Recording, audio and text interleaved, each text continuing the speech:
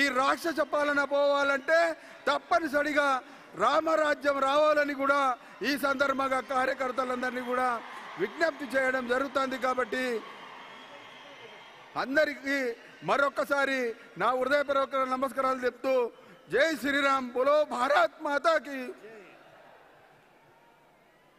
ఇప్పుడు మాజీ పార్లమెంట్ సభ్యులు జాతీయ కార్యవర్గ సభ్యులు గరికపాటి మోహన్ రావు గారిని మాట్లాడాల్సిందిగా కోరుతున్నాం.